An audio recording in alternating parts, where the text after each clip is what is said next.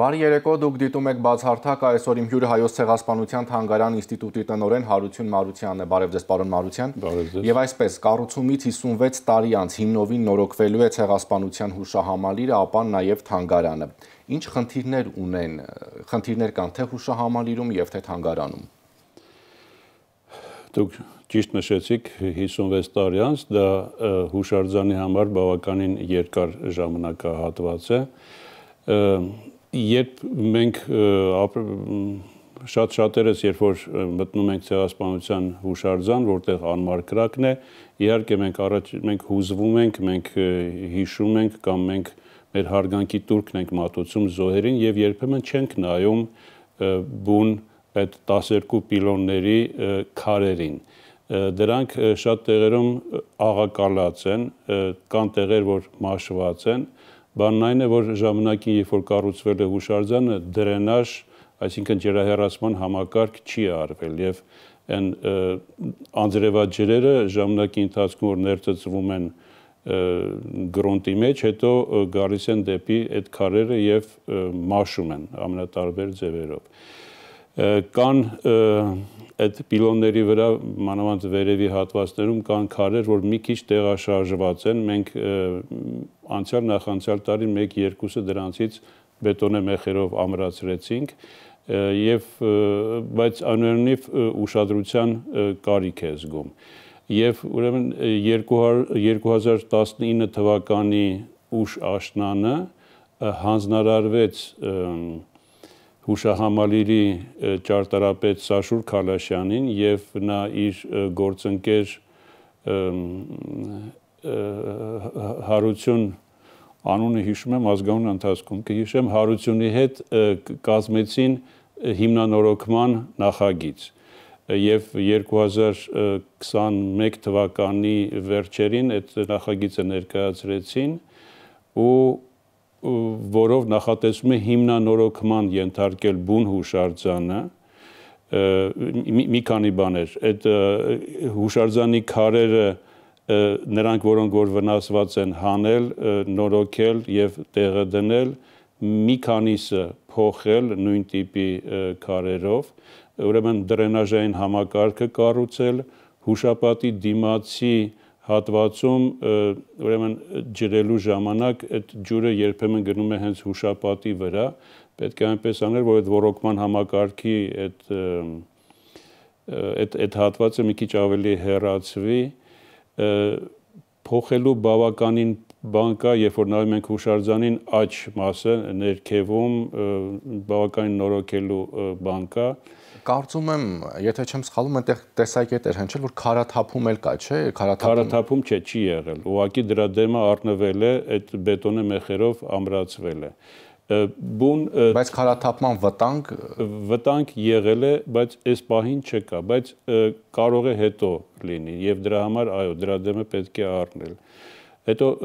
բուն թանգարանի շենքը, որ կառուցվել է 1994-95 թվականների հիմնականում այդ ցուրտ տարվա ցուրտ եղանակներին ջրահեռացման համակարգը բարվոք վիճակում չի գտնվում եւ այն հարթակը, որը որ ներքին բակի վերում է, որտեղից նայում ենք Արարատներին, այդ հարթակի տակ ընդհանրապես ջրամեկուսացում չկա, չի արվել ժամանակին, դա պետք է արվի։ Ներքին բակը, թանգանի ներքին բակը ցավոք այնպես է նախագծված եղել, որ դրսի ջրերը 13 փողարակներով իջնում են ներքին բակ եւ այդտեղից են գնում հեռացվում Ճարտարապետը այդպես է հարմար նկատել, ինքը բացատրեց, թե ինչու է նման որոշում կայացրել ժամանակին։ Ներքին բակը միևնույն է կաթում էր, միշտ այնտեղ մենք ներքևում ունենք հիմնական Արմին Վեգների լուսանկարներից բաղկացած մի դահլիճ եւ առաստաղը վատ վիճակում էր։ Ման ներքին բակը այ Հայաստան համահայկական հիմնադրամի Ֆրանսիայի մասնաճյուղի միջոցներով վերանորոգվեց, մոտ 1 տարի աշխատում էին, շատ շատ հիմնովին նորոգեցին։ Այսինքն ճիշտ եմ հասկանում, անձրևաջրերը լցվել են ներս, որ առաստաղը վնասվել է։ Այո, եւ ուրիշ ճանապարհ չունեն։ Անձրևաջրերը դրսից գալիս են ներս, ներքին բակ եւ այդտեղից փողրակներով հեռանում են եւ այդ այնտեղ կային վնասված տեղեր եւ դրա համար հիմնովին հիմնանորոգում իրականացվեց եւ հիմա այդ տեղից ջուր չի գնա ներքև, սակայն վերևի հատվածից պատերի միջոցով միջով կարող է գնալ եւ ճարտարապետը խորհուրդ տվեց դեռ ներքևը չբացել, ներքևի ցուցադրության այդ հատվածը մինչև վերևի այդ հարթակի հատվածը նույնպես չնորոգվի։ 2015 թվականին կառուցված Թանգանի վարչական շենքը ադմինիստրացիան նույնպես խնդիրներ ունի, քանի որ հարթ տանիք է, Հայաստանում հարթ տանիքները վատ են աշխատում, ցավոք սրտի, եւ նույնպես ջրամեկուսացումը վատ վիճակում է, դա նույնպես նորոգվելու է։ Կան սենյակներ, որոնք հյուսիս են նայում, որտեղ միշտ առաստաղից կաթում է։ Մի խոսքով կազմվեց շատ մանրամասն հիմնանորոգման նախագիծ եւ մեր տվյալներով պետությունը որոշել էր անցյալ տարի որոշել էր այս տարվա եւ այսինքն այս գործի համար մինչեւ 800 միլիոն դրամ հատկացնել եւ ես տեղյակ եմ որ այս պահի համար հատկացվել հատկացվելու է, եթե չեմ սխալվում, մինչև 400 միլիոն դրամ եւ դա ճարտարապետների առաջարկով առաջին հերթին ծախսվելու է բուն հուշարձանի նորոգման համար։ Հուշարձանի նորոգումը իրականացվելու է այն նույն ձևով, ինչ 2015 թվականին իրականացվեց Հուշասյան նորոգումը, որին բացարձակապես որևէ վտանգ չի սպառնում ջրամեկուսացման իմաստով մի քիչ իրարից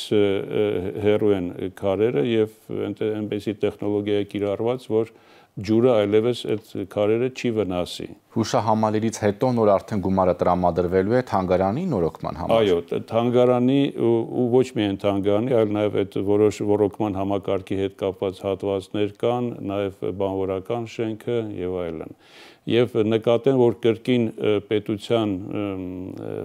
ուրեմն ֆինանսավորմամբ անցյալ տարվա վերջին եւ այս տարվա հունվարին մենք ավելացրինք երկու նոր տեղամասեր Եղևնիների համար։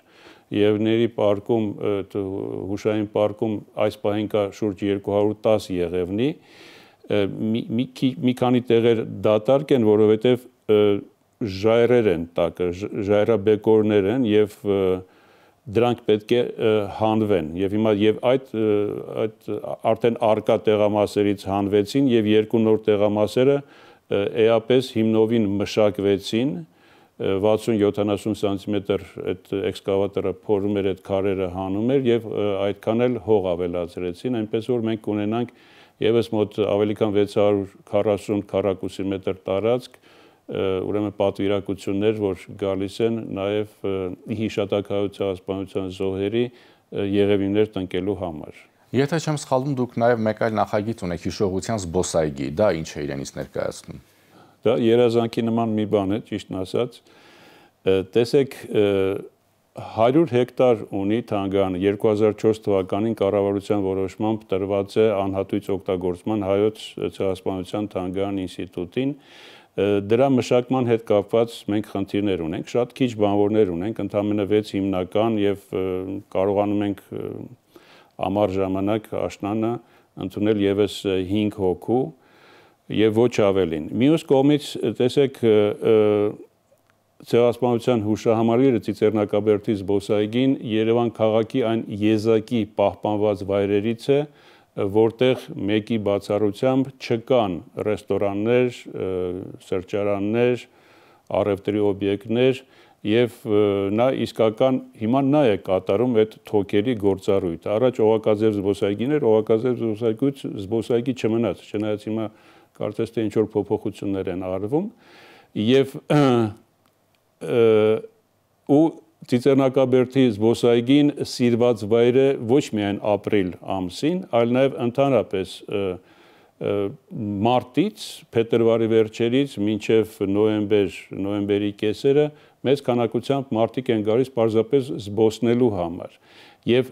այ զբոսանքի հետ միասին փորձելու ենք առաջարկել նրանց որոշակի հիշողություն, որոշակի գաղափարախոսություն։ Գաղափարախոսությունը այն է, որ Ուրեմն այդ տարածքը պայմանական ասած բաժանենք 12-13 հատվածների, պուրակների, որոնք կհամապատասխանեն Արևմտյան Հայաստանի Օսմանյան կայսրության եւ այսինքն Արևմտյան շրջանների եւ Կիլիկիայի հայաբնակ վայրերի անուններով այդտեղ կլինեն կենտրոններ, պայմանական ասած, որտեղ մուլտիմեդիա միջոցներով կիրականացվի ցուցադրություն ցուցադրություն թե այդ տարածաշրջանների մասին, պատմության մասին, բնակչության մասին, այնտեղտեղ գտած թե կոտորածների, թե ինքնապաշտպանությունների մասին, որը շարունակությունը կկազմի հիմնական ցուցադրության։ Հիմնական ցուցադրությունը ընդհանրապես հայոց ցեղասպանության մասին է, իսկ փոքր շեշտադրումներով ռեգիոններին, իսկ այս այս մի պարագայում մենք կունենանք ավելի մեծ շեշտադրում տարածաշրջաններին եւ այդպիսով հնարավորինս կամբողջացվի հայոց ցեղասպանության ու ընդհանրապես թե ինչպես էր ապրում ինչ վիճակում էր այդ նշված տարածաշրջանները Արևմտյան Հայաստան, Կիլիկիա եւ Օսմանյան կայսրության հայաբնակ վայրեր դրանց մասին համապատասխան տեղեկատվությամբ։ Դա ամբռնազբոս ձևով կառաջարկվի մարդկանց եւ իրենք եւ քայլելու ընթացքում, զբոսնելու ընթացքում կարող են մտնել այդ տաղավարները, այդ տեղեկատվությամբ տեղեկատվությունը ստանալ ինչ որ մի պահի, երբ որ մենք գոնե թե վերջը կերևա հայոց ցեղասպանության զոհերի եւ վերապրողների շտեմարանի, գուցե թե նաեւ որոնում կատարեն թե իրենց կամ իրենց ցանոթների ազգանուններով թե ով է ցեղասպանության ժամանակ զոհվել կամ վերապրել, այսինքն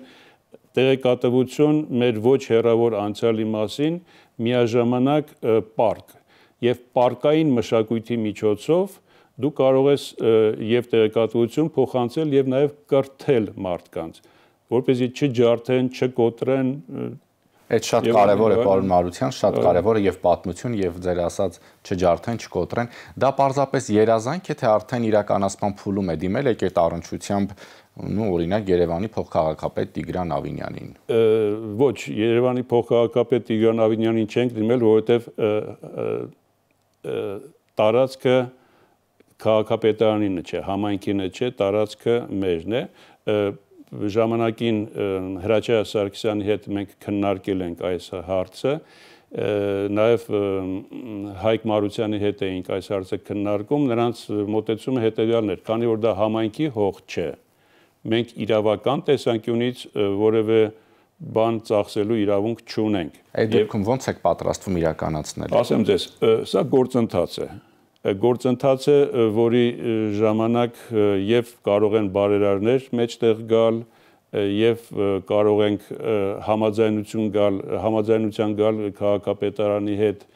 ինչ-ինչ բաներ միասին անելու եւ ամենայն դեպս մեր նամակներից մեկին ի պատասխան եղավ այսպիսի մոտեցում, որ ինչ որ պահի երբ որ լինի հստակ մշակված նախագիծ, գուցե թե Երևանի քաղաքապետարանը մասնակցի այդ գործընթացին եւ որպես նվեր դա տա Երևան քաղաքին եւ հայոց ցեղասպանության թանգարանին։ Այսինքն ձևերը կան այս պահին տեսեք մի քանի տեղեր կան որ եթե մենք գնում ենք դեպի հուշարձան աճ թևին աճ կողմին որ դալմայի կողմից նայելու պարագայում թվում է թե կանաչությունը շատ քիչ է երկու վայրերում ծառատունկ է իրականացվելու։ Մի մասը արվել է, մի մասը դեռ արվելու է այս առաջիկա ամիսներին մի քանի հեկտարի վրա։ Եվ այս պահին զուտ ծառատունկ է, դեռ պարկ չէ, բայց ինչ որ պահի, երբ որ այս գործընթացը սկսի զարգանալ, նաև կգա պարկային մշակույթը։ Շարունակեմ, մենք համագործակցում ենք Հայաստանի շինարարության եւ ճարտարապետության համալսարանի ճարտարապետության ֆակուլտետի հետ, մասնավորապես դեկանը Արմեն Շատորյանը եւ իր մի քանի գործընկերներ մի քանի անգամ եկել են, քննարկել ենք, փորձում են հասկանալ այդ գաղափարախոսությունը եւ լուծման ուղիներ առաջարկել եւ ինչ որ պահի բանը կհասնի էսկիզային նախագծերի։ Երազանքի իմաստով այն էր, որ ժամանակին մտածում էինք, թե եթե գումար ունենայինք, կարող էինք միջազգային մրցույթ հայտարարել, որովհետև Բայց հիմա փաստորեն ստացվում է, որ հետաքրքրվողներ կան, անգամ քաղաքապետարանն է արձագանքել, դա արդեն կարևոր է։ Այո, դա կարևոր է եւ դրա համար ասում եմ, սա գործընթաց է եւ ընթացքում ես վստահ եմ մեջտեղ կգան բարերարներ, գաղափարախոսությունը կիսողներ, նաև պետակ պետության կողմից մեր իմիջայլոց ասեմ, որ մեր հոգաբարձությունների խորհուրդը սկզբունքորեն հաստատել է այս գաղափարը եւ բանը կհասնի նախագծին ի վերջո։ Շատ լավ, պարոն Մարության, տեսեք դուք նաեւ խոսեցիք տեղեկատվությունից կայքի վերաբացման հետ կապված։ Նախ քանի լեզուներով է կայքը, որովհետեւ դա էլ է շատ կարևոր։ Կայքը ստեղծվել է 2007 թվականին եւ այն ժամանակվա համար բավականին առաջադեմ կայք էր, նույնիսկ ժամանակին մրցանակ էր շահել։ Հիմա կայքը հնացել է, որովհետեւ ասենք օրինակ որոնման համակարգ չկա եւ անցյալ տարվա երկրորդ կեսից աշխատում ենք կայքի վերաբացման ուղղությամբ մի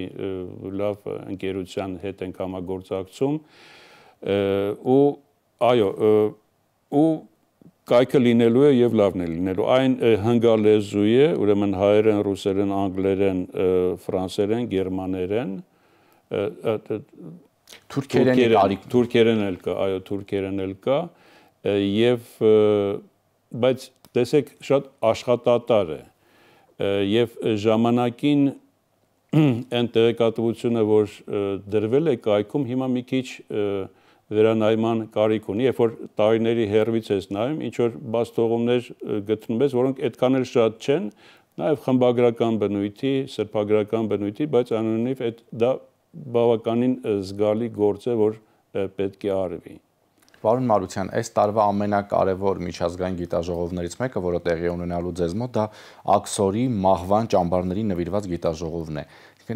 նպատակը ո՞րն է։ Տեսեք, դա նախատեսում ենք այս տարվա սեպտեմբերի կեսերին միշտ խոսել ենք ցեղասպանության մասին, բայց ցեղասպանության այ այդ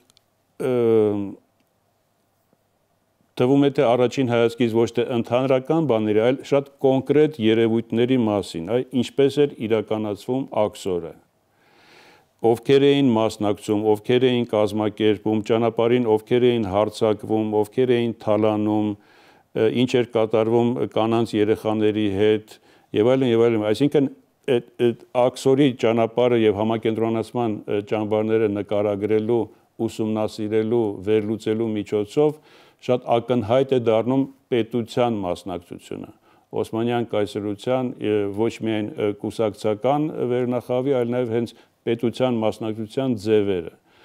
թե ինչպես է իրականացում ցեղասպանությունը եւ դրա հետ կապված մեկ այլ գիտաժողով, որ նախատեսում ենք մայիսին, երեխաների բռնի տեղափոխման հետ կապված, տեսեք ցեղասպանության պատժի եւ կանխարգելման մասին կոնվենցիայում կոնվենցիայի կետերից ընդամենը մեկն է վերաբերում մարդկանց սպանելուն, մնացածը տարբեր խնդիրների են վերաբերում եւ դրանցից մեկը նաեւ այդ երեխաների բռնի տեղափոխումն է մի մի վիճակից,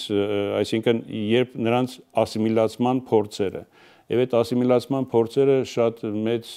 ծավալով տեղ էին գտնում հայոց ցեղասպանության տարիներին, ու իհարկե որոշ հաջողություններ գրանցեցին, այ այսինքն մարդ կենթանի է մնում, երեխան կենթանի է մնում, բայց նա արդեն կորցնում է իր ինքնությունը, կորցնում է իր ազգությունը, կրոնը եւ այլն եւ այլն։ Դա նույնպես ցեղասպանության դրսևորում է եւ համատաբար կան ուսումնասիրություններ, սակայն համատաբար քիչ է եւ փորձելու ենք այդ արկա բացը լրացնել եւ այդ գիտաժողովի այդ այդ առաջին գիտաժողովի ընթացքում մայիսին կանալիք համագործակցելու ենք ուրեմն Ավստրալիայի եւ Կանադայի մեր գործընկերների հետ եւ հայկական բարեգործական ընդհանուր միությունը նույնպես օժանդակելու է մեզ նաեւ կրթության, գիտության, մշակույթի եւ սպորտի նախարարությունը նույնպես օժանդակելու է։ Այն երկրորդ գիտաժողովի հետ կապված մտադիր ենք դիմել վերջերս վերակազմավորվեց հայագիտական հիմնադրամը, կարճ եմ ասում, եւ մտադիր ենք դիմել նաեւ նրանց օժանդակության։ Այսինքն եւ մեր տեղի միջոցներով եւ դրսի միջոցներով փորձելու ենք այդ երկու գիտաժողովները իրականացնել, որոնց զուգահեռ կլինեն նաեւ ժամանակավոր ցուցադրություններ ցուցադրությունների եւ անցնող 1 տարվա ընթացքում իրականացված 2022-ից մինչեւ 2023-ի ապրիլի 24-ը իրականացված եւ դեռ իրականացվելիք ծրագրերի մասին ես կարծում եմ մենք դեռ կխոսենք ապրիլի 24-ին ընթരാճ։ Հաջողով։ Շնորհակալություն պարոն Մարության։ Հիշեցնեմ իմ հյուրը հայոց ցեղասպանության թանգարան ինստիտուտի տնօրեն Հարություն Մարությանն է։ Շնորհակալություն ուշադրության համար։ Հաջողություն։